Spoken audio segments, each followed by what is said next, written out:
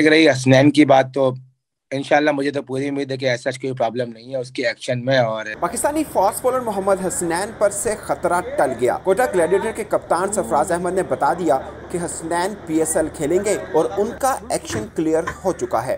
कराची में उन्होंने virtual press conference की और हसनैन के मुतालिक क्या कहा आइए देखते हैं। एक तो मोहम्मद हसनैन के हवाले से आ, आ, वो अभी उनका एक्शन सस्पेशन शो किया था ऑस्ट्रेलियन अंपायर ने। और उनका टेस्ट हुआ तो उनका कॉन्फिडेंस फ़िलहाल कैसा है?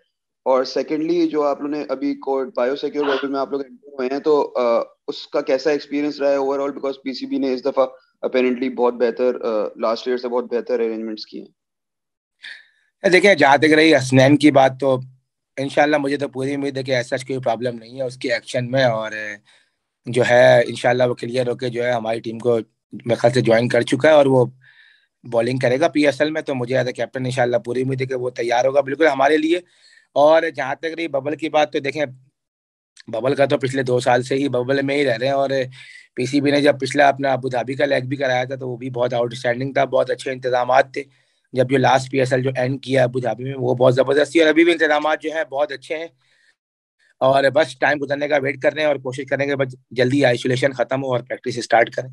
सरफराज अहमद से ये भी सवाल हुआ कि इस वक्त मोहम्मद रिजवान पूरी फॉर्म में हैं। सरफराज अहमद को टीम में आना है तो रिजवान से अच्छा परफॉर्म करना होगा। क्या सरफराज इसके लिए तैयार हैं? इस सवाल पर सरफराज ने क्या जवाब दिया? आइए देखते हैं। सरफराज पी पीएसएल जब शुरू हुआ था तो कहा जाता था कि जवानों के लिए बहुत अच्छा प्लेटफॉर्म है ये टीम में जगह बनाने के लिए। लेकिन अब ये पीएसएल जो है, ऐसे खिलाड़ियों के लिए भी बड़ा अच्छा प्लेटफॉर्म साबित हो जा रहा है जो जिनको कम करना है।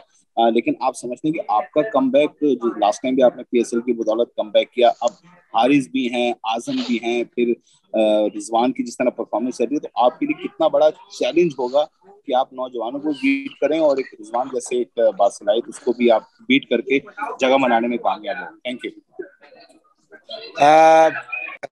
भाई देखें बिल्कुल मैंने हमेशा पहले भी कहा है कि डोमेस्टिक का कोई भी इवेंट चाहे वो पीएसएल हो, चाहे वो डोमेस्टिक का टी ट्वेंटी टूर्नामेंट हो या फ़र्स्ट क्लास टूर्नामेंट हो, कोई भी वो प्लेयर जिसको पाकिस्तान टीम में कम करना है या पाकिस्तान टीम में आना है तो हर वो डोमेस्टिक का वो टूर्नामेंट जो है ना, हर उस प्लेयर के लिए बहुत इंपॉर्टेंट होता है जिसको पाकिस्तान टीम में जगह बनानी होती है। तो बिल्कुल मेरे लिए भी, जैसे उन सब प्लेयर्स के लिए भी इंपॉर्टेंट है तो मेरे लिए भी इंपॉर्टेंट है। मैं भी कोशिश करूँगा कि मैं अपनी बेहतर बेहतर परफॉर्मेंस दूँ अपने लिए और अपनी टीम के लिए। सफरा साहब आपके साथ हैं शायद आफरीदी हैं, उमर कमल की भी वापसी हो गई है इफ्तार भी आपके पास आ चुके हैं, बैटिंग लाइन भी और बॉलिंग में भी आपका डिपार्टमेंट में काफ़ी मज़बूत हो गया है। लैग कहाँ करते कि हमने देखा लास्ट सीज़न में भी कि फास्ट पेसर्स जो हैं, वो आपकी जो शिकस्त टीम की होती थी, उसमें उनके इजाफे रन ज़्यादा होते थे। इसको रोकने की कोई प्लानिंग की है आपने?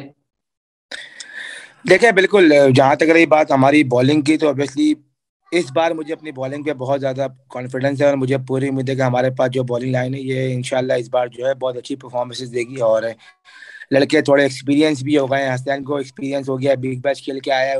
उसके अलावा नसीम शाह जो है वो अभी सी में उन्होंने बड़ी ज़बरदस्त बॉलिंग की है। उसके अलावा जेम्स फोकनर का एक्सपीरियंस हमारे पास आया है।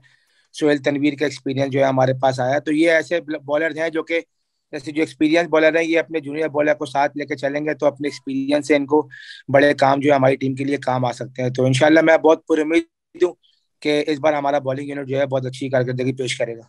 इस वक्त तमाम टीमें कराची के होटल में करंटीना कर रही हैं और 24 जनवरी से पाकिस्तान क्रिकेट बोर्ड ने तमाम खिलाड़ी को ट्रेनिंग की इजाज़त दे रखी है।